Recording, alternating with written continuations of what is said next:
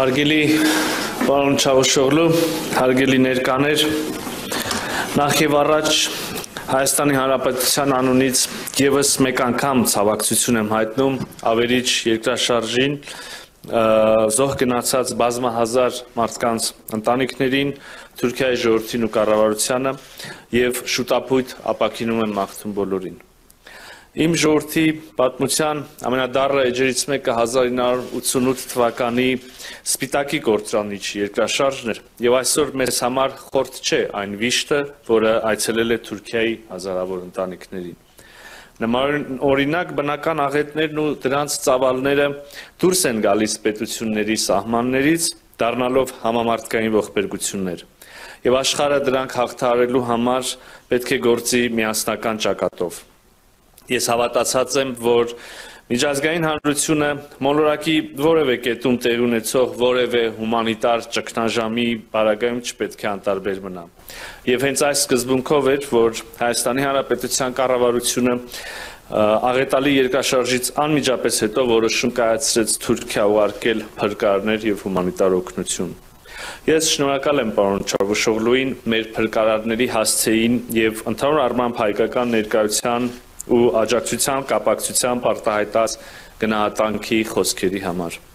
Շատ ուրախ եմ, որ մեր փրկարարներին իրանց գործընկերների հետ համագործակցությամբ հաջողվել է փրկել անել ամենակարևորը այս իրավիճակում փրկել մարդկային կյանքեր։ Խորհրդանշական եմ համարում նաև, որ շփատ օրը շուրջ 30 տարի փլատակի 30 տարի փակի տակ գտնվող հայ-թուրքական սահմանը բացվեց Ադիաման ուղևորվող հումանիտար օգնության բարձրած հայկական բեռնատարների համար։ Նույնը տեղի ունեցավ 3 երեկոյան եւ ժամեր անց հերթական խմբականակը հումանիտար օգնության կհասնի Ադիաման։ Ես արգելի ներկարներ, մեր այսօրվա հանդիպումը իհարկե պայմանավորված է բազում կյանքեր խլած աղետով,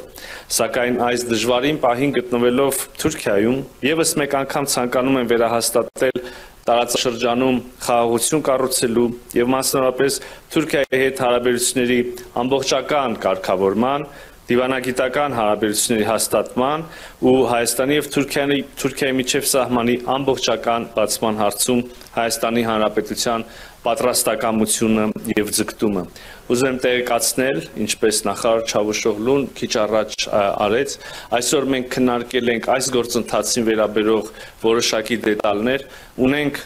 համաձայնություն համատեղ ջանքերով վերանորոգել անի կամուրջը ինչպես նաև հոգ տանել համապատասխան ենթակառուցվածքների մասին սահմանի ամբողջական բացման ընթառաջ։